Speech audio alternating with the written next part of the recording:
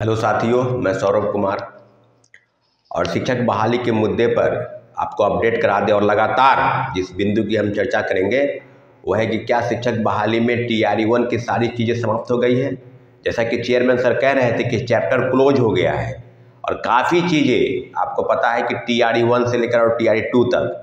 तो आपको अपडेट करा दें, ये जो मेरा वीडियो है इस वीडियो के माध्यम से, जितने भी शिक्षक अभ्यर्थी सुन रहे हैं आपको हम एक एक चीज़, एक एक बिंदुवार एक एक चीज़ों की चर्चा करेंगे। और माध्यम यही है कि आपके आंदोलन से, अगर हम लोगों के आंदोलन से सरकार के पास किसी समस्या का समाधान नहीं है तो सारी चीज़ों पर आपको अपडेट करा दें कि माननीय उच्च न्यायालय के शरण में हम लोग चले गए हैं। याचिका की पूरी तैयारी हो गई है और कल फाइलिंग हो चुका है। मतलब पूरी तैयारी हो चुकी है, कल फ़ाइल हो जाएगा। तो अपडेट करा दें कि किसी को घबराने की ज़रूरत नहीं है। जितने भी साथी पिटिशनर बने हैं या जो नहीं बने हैं सभी के लिए यही है कि पहले टोकन नंबर मिलता है, उसके बाद फिर केस नंबर मिलता है। तो थोड़ा इंतज़ार करना है और केस के संदर्भ में जो भी जानकारी होगी, सभी लोगों को बताया जाएगा, साथियों।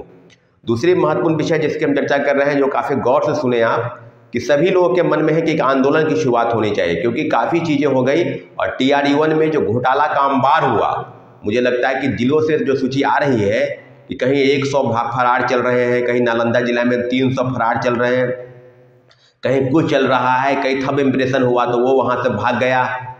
आया ही नहीं। व्हाट्सएप पर अपना इस्तीफा सौंप रहा है। ये क्या हो गया? ये इतनी बड़ी बहाली हुई और बहाली के दूसरे चरण में कल नियुक्ति पत्र भी बांट दिया गया।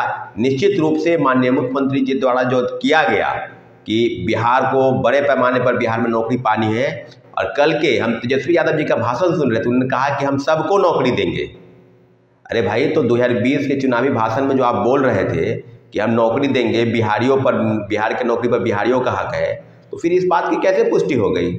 अगर आपको देना ही है आरक्षण डोमिसाइल नीति समाप्त किया गया, अगर डोमिसाइल के तहत देना ही है आरक्षण तो आप पाँच प्रतिशत या दस प्रतिशत दे देते। परंतु आप अपनी बातों से मुकर गए हैं। हाँ माननीय मुख्यमंत्री जी के जो बातें हैं कि जहाँ बिहार है, जहाँ रोज़गार है, वही नीतीश कुमार है। निश्चित रूप से माननीय मुख्यमंत्री जी के द्वारा जो कार्य योजनाएँ चलाई गई शिक्षक बहाली में। और उस बहाली की प्रक्रिया के प्रथम फ़ेज़ में जो भ्रष्टाचार का अंबार लगा, भ्रष्टाचार का नंगा नाच हुआ, सारी चीज़ों पर अगर आप अपडेट करा दें तो निश्चित रूप से हम लोग ने याचिका दायर कर दी है। और दूसरी प्रमुख बिंदु, इस बिंदु की चर्चा हम करेंगे कि बहुत बड़े आंदोलन की शुरुआत होने जा रही है।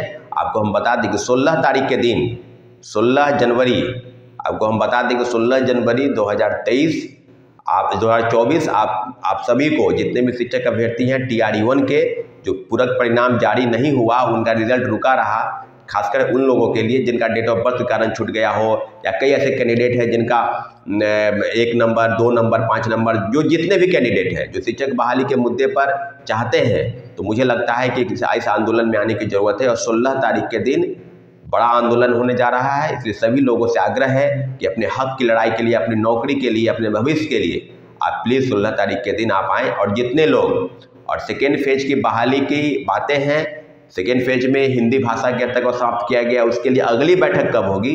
उसके लिए अभी कमेंट बॉक्स सेक्शन में जाए कमेंट बॉक्स करें कि अगली बैठक हम कब बुलाए, सत्रह को बुलाए, अठारह को बुलाए, उन्नीस को बुलाए, ये आप बताएँ, क्योंकि अगली बैठक हम जल्द से जल्द करने वाले हैं। तो जितने भी शिक्षक अभ्यर्थी मेरी बातों को सुन रहे हैं और गौर से सुने, क्योंकि आपकी प्रथम फ़ेज़ की बहाली से लेकर सेकेंड फ़ेज़ की बहाली पर काफ़ी चीज़ें हुई, खासकर प्रथम फ़ेज़ में जो भ्रष्टाचार हुआ, जो जिस तरह की चीज़ें, जो फर्जीवाड़ा का खेल चला और कई मामलों पर शिक्षा विभाग की तरफ़ से गलती हुई बीपीएससी की तरफ़ से गलती हुई मुझे लगता है कि दोनों विभाग ने जिस प्रकार से गलती की कि आपने कहा था कि ड्रॉप आउट को बाहर करेंगे फर्जीवाड़ा जो कर रहा है उसको बाहर करेंगे मल्टीपल रिज़ल्ट उनको बाहर करेंगे तो फिर पूरक परिणाम जारी नहीं हुए। और और जो पूरक परिणाम कल लगभग पाँच सौ के आसपास जो जारी हुए टी आर में, वो तो कह रहे हैं कि आपत्ति दी गई थी तो फिर किन लोगों का?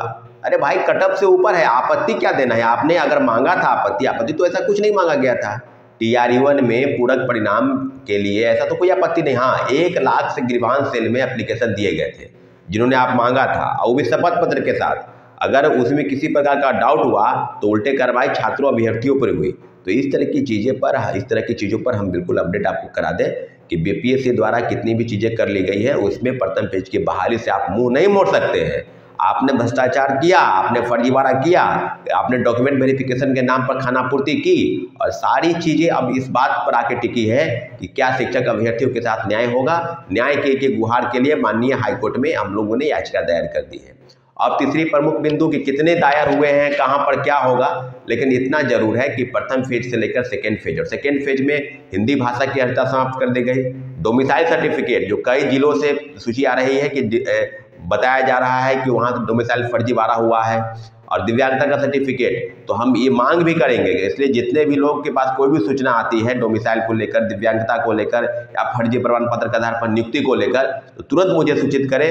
निश्चित रूप से अगली जो बैठक बुलाई जाएगी सेकेंड फ़ेज़ की बहाली को लेकर, उस बैठक के माध्यम से हम आगे की रणनीति तय करेंगे। लेकिन इतना ज़रूर है कि सेकेंड फ़ेज़ की बहाली पर बैठक कब बुलाई जाएगी, आप कमेंट सेक्शन में जाकर कमेंट बॉक्स में बजाकर करें, क्योंकि आज के बाद जो सेकेंड फ़ेज़ की बहाली के पूरक परिणाम जारी होने हैं, उसकी तैयारी शुरू हो जाएगी। और जो लिस्ट गई है शिक्षा विभाग से चौदह हज़ार सात सौ, इसके एवज में कितना आएगा रिज़ल्ट क्योंकि प्रथम फ़ेज़ की बहाली में जो वादा खिलाफी हुआ तो अब शिक्षक अभ्यर्थी बीपीएससी चेयरमैन के बात पर भरोसा नहीं करते हैं।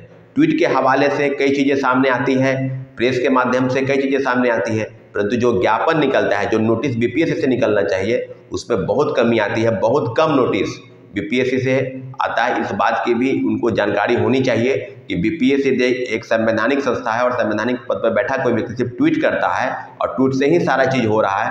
तो मुझे लगता है कि बीपीएससी को इस बात पर अपने बातों को बदलना चाहिए। शिक्षक अभ्यर्थियों के साथ जो अन्याय हुआ, जो घोटाला हुआ, जो प्रथम पेज के बहाली फर्जीवाड़ा हुआ वन टू वन सभी चीज़ों पर, सभी बिंदुवार अगर चर्चा करेंगे तो इतना ज़रूर है कि प्रथम फ़ेज़ की बहाली के लिए एक बड़े आंदोलन की शुरुआत हो चुकी है। सोलह जनवरी के दिन सभी को आना है और आने वाले समय में टी आर टू के लिए, हिंदी भाषा की अर्थता के लिए बैठक कब बुलाई जाएगी, इसके लिए आप लोगों को बताना है। इसलिए साथियों वन टू वन आपको अपडेट करा दें।